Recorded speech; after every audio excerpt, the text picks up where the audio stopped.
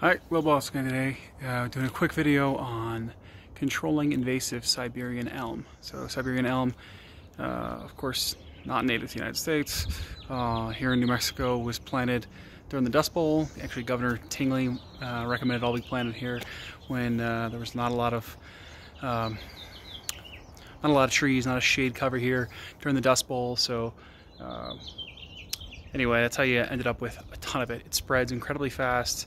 Uh, and uh, another real bad quality about it is it will actually dig straight down into your uh, water system. So if you have sprinklers, it'll actually dig down into the city water, uh, and it's, it's, incredibly pervasive. Uh, it's actually the city ordinance in Albuquerque. You're not supposed to even plant any new new uh, new Siberian elm, but it is around because it's so prolific and spreads so quickly. So I'll show you because I did find some. So found some uh, today in my yard. Here's one, and as you can see in it, the uh, the, the, the taproot itself is actually longer um, than the than the uh, this little sapling itself of Siberian elm. Uh, so here is here's another one, and I'll show y'all real quick. When you when you take it out, you want to make sure get down low, and again you get down the entire entire system. If it is uh, too long, uh, if, if, if, you end up, here's another one right here, I'll show you in real quick. Make sure you get out the entire root system in there.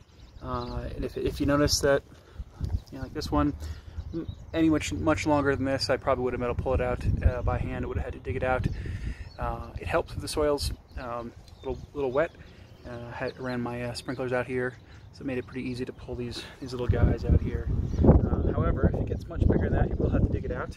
Uh, and when you do, it will grow back if you don't uh, do something about the, uh, the, treating the tree. So what you can do uh, for kind of a natural remedy is you can use something like an Epsom salt mixed in with water, make kind of a paste, cut uh, inch deep uh, holes into the into the trunk that's there, drill down about an inch, and put a mixture in there. that way, it's a little, little bit more natural, and you don't have to worry about too much about about killing killing other things around there. Uh, there's some other other uh, obviously chemicals you can use, other things like Roundup and stuff. But uh, as you know, I like to prefer more more natural method if, if possible. So again, controlling uh, invasive Siberian elm, and a really easy way to do it. But make sure you get that whole that whole uh, root system out.